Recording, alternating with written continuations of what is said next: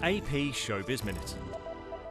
Venus Williams caused a car crash earlier this month that led to the death of a passenger in another vehicle, according to a police report released on Thursday.